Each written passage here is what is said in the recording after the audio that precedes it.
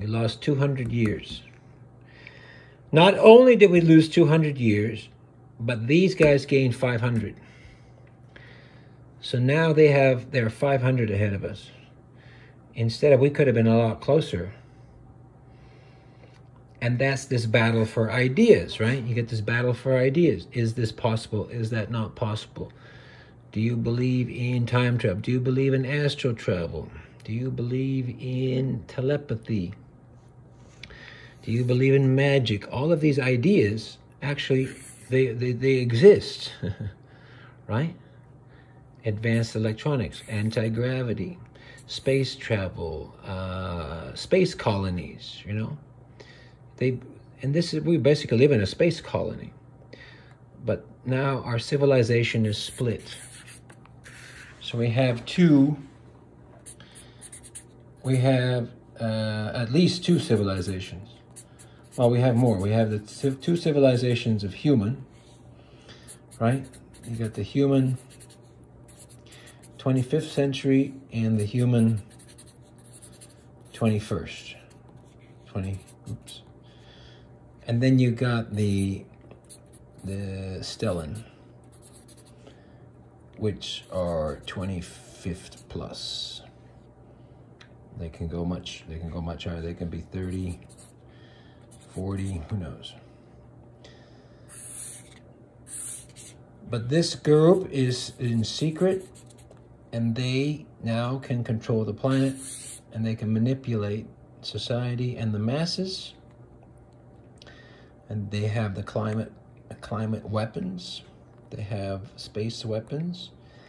And because we are so far oh, so uh, so much at a disadvantage we're trapped in uh, low, lower egoic thinking gender wars pain disease monetary systems hatred rights uh, anger. We're here, and don't, these people help us so that we are not wiped out. Otherwise, we will be wiped out because this these people want us to be wiped out. But it didn't happen overnight. It happened over 2,000 years. Right? That they took advantage of new technologies, new they stole new ideas, they talked to advanced people. They expanded their mind, they expanded their consciousness. Meanwhile, people here were denied expansion, and if you were expanding, you were called a witch, you were hunted, you were terrorized, they call you a conspiracy theorist. And so most people, the masses, the masses are in the 21st century, early 21st century. Some people some people kind of exist here. But, you know, there's not so many of them. And they believe in these new ideas and they use the most advanced technology and they're into quantum physics, right? They're here. But that's still nothing. The 23rd is still nothing compared to what they're doing here. Even your highest level thinking it's not does not match what these people are doing because they're doing time travel, they're doing astral travel, they're doing interplanetary travel, they're traveling to different galaxies. They have healing technologies, they have uh, de-aging technologies. Right? They have advanced networks. And they're talking to a lot of these people.